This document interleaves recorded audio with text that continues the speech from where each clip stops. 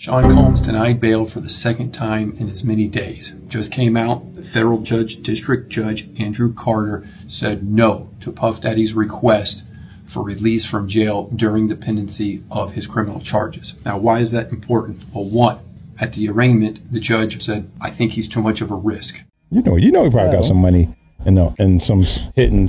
Yeah, I Swiss think I bank think their whole whatever. issue is is they must they must really have something definitive on him. Well, well, I, I can tell you on the state level, the state normally arrests you and then try to The build a case against up. you. The feds build a case against you and Right. then arrest you. Yeah, so it's, So, yeah, they got definitely- something they on 'em. Definitely got something on them. You know what I mean? But but man, Pop, Pop was a monster. So next video, Diddy fifty million dollar bail package to get out of jail was denied. So let's hear the explanation from at Robert Sparks' Fifty attorney. million dollar bill. Fifty package million is bail package. That shit was denied. If they deny fifty million dollars, that means they want that ass. Yep. This point blank, Literally. Diddy, they, they want they want that ass right there, boy. It's Dis'JAWN Podcast. Let's go. Sean Combs denied bail for the second time in as many days. Just came out, the federal judge, District Judge Andrew Carter, said no to Puff Daddy's request for release from jail during the pendency of his criminal charges. Now, why is that important? Well, one, at the arraignment, the judge said, I think he's too much of a risk.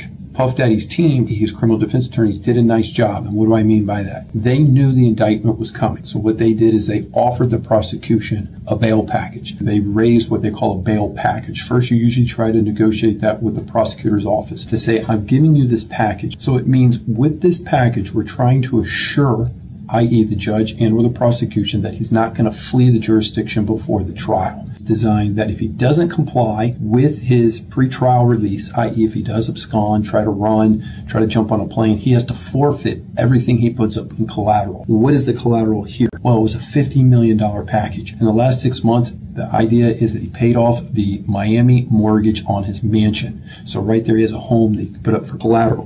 The report also talks about that he had family members co-sign. He put up cash. He was willing to undertake voluntary drug tests, home confinement, and a visitor log every day. So the idea is if he didn't comply, they take the 50 million. A lot of people are going to say the guy's worth hundreds of million. What's 50 going to do? But we're talking about 50 million in cash. Different story. But the big takeaway from the judge's ruling is it wasn't enough. And it wasn't enough for two reasons. One, obstruction of justice. Two, witness tampering. That's a huge statement by a federal judge. Concerned that Sean Combs and or his team is going to try to provide some type of undue influence on the witnesses that are set to testify against them. That goes to the sex trafficking. That goes to the horrendous sexual battery cases and the victims. Trying to get to them. Remember, in a criminal prosecution as a defense attorney, if you have bad facts, bad evidence, it's not going to be he said, she said here. It's going to be a he versus she, she, she. It's a criminal enterprise. So what a defense attorney wants to do is he wants to put time between the indictment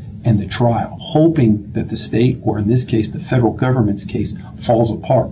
The more time that you can put between the two, maybe witnesses disappear, maybe witnesses recount, maybe somebody's getting paid off. There's a lot of issues and may run a public relations campaign to try to sway a jury that in fact he's the victim, that the federal government is an overreach they can't tie this to him. But I'll tell you when that becomes very difficult to run that playbook. It's when your client's sitting in jail during the trial because you're not out there pleading the innocence. He's not being seen in public. There is no good deeds, public relations that he can do. It's no coincidence that they brought him back to New York to surrender. It's no coincidence that you see him in a park. That's all public relations. That's all by design. But the idea is huge victory in terms of a federal prosecutor.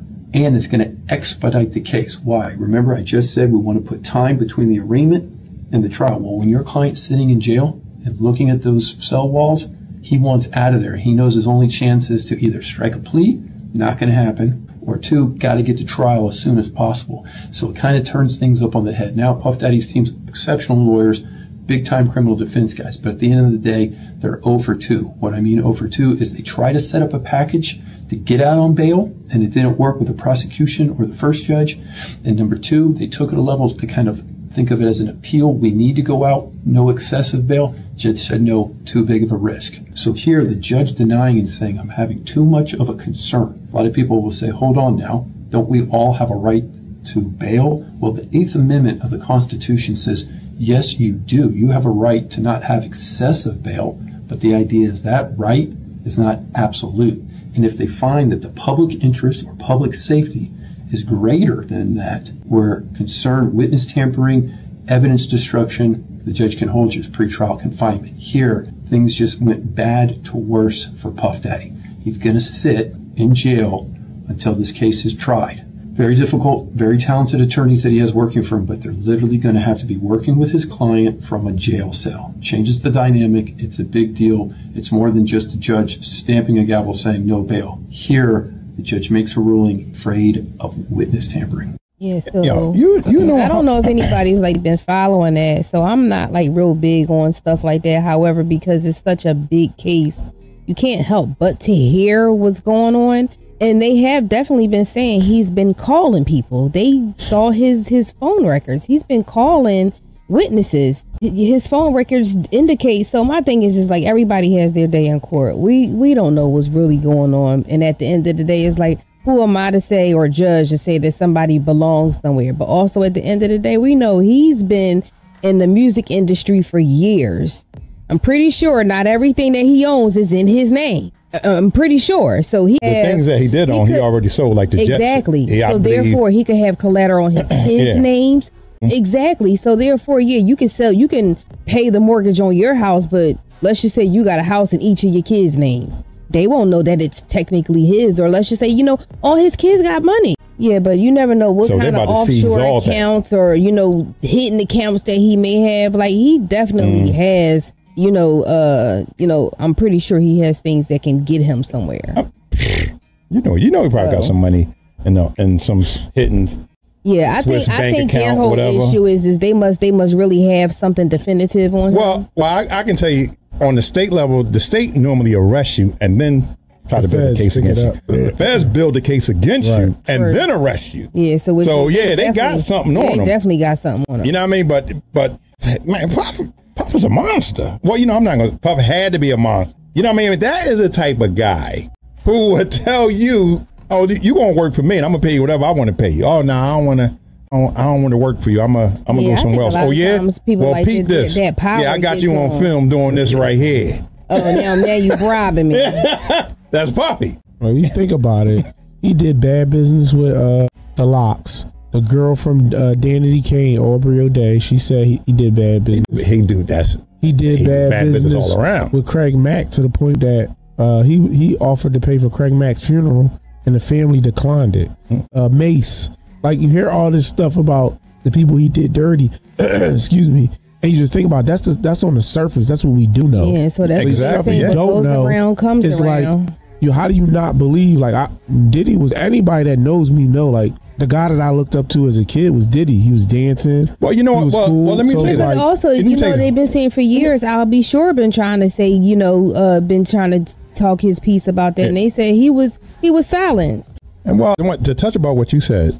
At that time, we all looked at because we thought Diddy was cool. I know. I thought Diddy was cool. Right. Yeah, I mean, Diddy was he was a cool dude in the back of the don't- video. that's because we don't You know what him I mean? He was- personally. This sounds like he tops R. Kelly. but probably. I mean, Yeah. I I think they both on the same level, but it's just like they said uh, Quincy might be testifying against him. That's his son. Well, it's not his son, but Well, yeah, because that's Al B. Sure son. right. So, so it's, if, it's like if he's if he's allegedly, because I don't know, I, I heard some rumblings about it, but if he allegedly is going to testify, that just tells you like imagine the stuff those kids saw. Wow. Oh, yeah. Well, you you think know about Kim Porter Yeah, her her mysterious death. Death. death of Yeah. ammonia.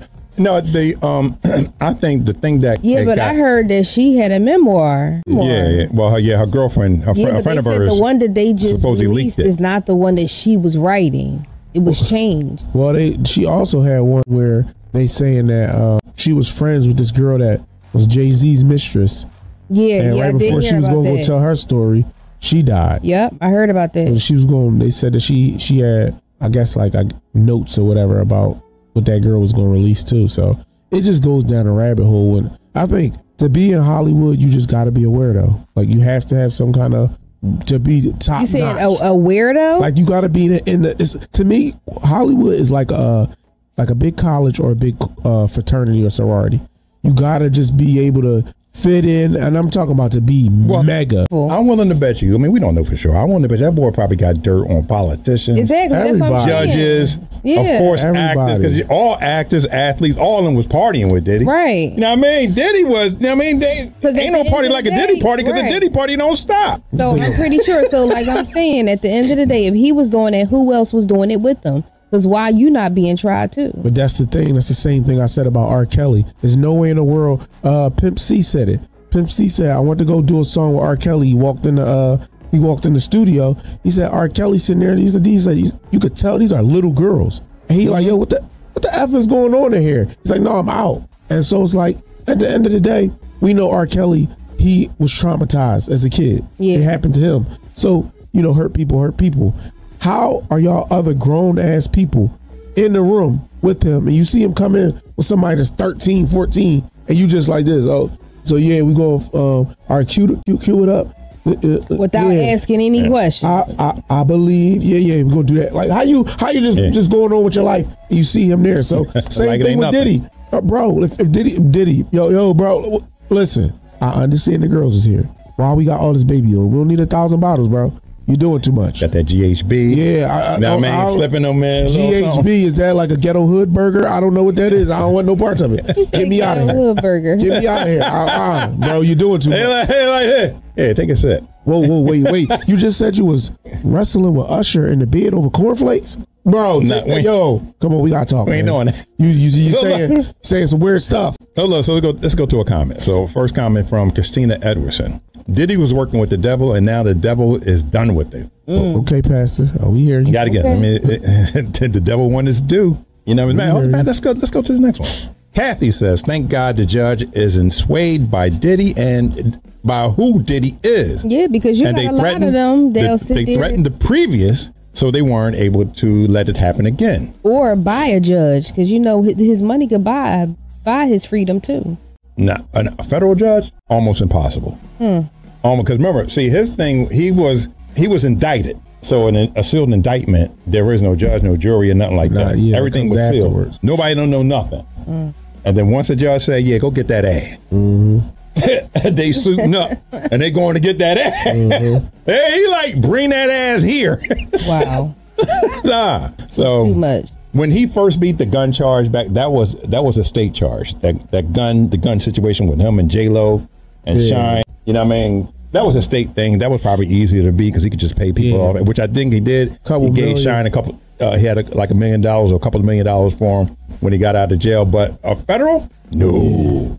They the big dogs. Let me say some Fed have a ninety six percent conviction. I think it went up. Wow. I think it's like ninety-seven point something now. Feds don't play. If the If they, lose their ass, if- as soon as they show up, just be like, you know what? you got me. Uh, I, I need y'all to give me some some some on my books now because I ain't coming out. Listen, they will wait. They will wait years Yes. before they come for that ass. Yeah. Oh wow. But they when they when they get that case, oh, they coming for that ass. So Turquavion, you selling that weed outside? they don't give a good goddamn about you. They looking for your boss's boss's Your boss. boss is boss you know, I mean, they'll come. They'll come get you just to make you flip. Right. You know what I mean, so let's, let's go to one more comment. So one more comment from Deneen. Deneen says, if he could pay fifty million a bill, how you know he got millions offshore and could easily flee? yeah, see, that's what I said. That's why they deny. all different types of collaterals that's not in his name. But I mean, think about it though. It ain't the money they want. Fifty million. No, I'm not To- talking the about state? the money, but the money is No, I'm, what's I'm, going to I'm get talking about for him him to that build up that, that bill package. Yes, Right. Yeah, they don't want. I think because they want that especially ass. for Yes. considering he has his own airplane, he can go wherever he wants.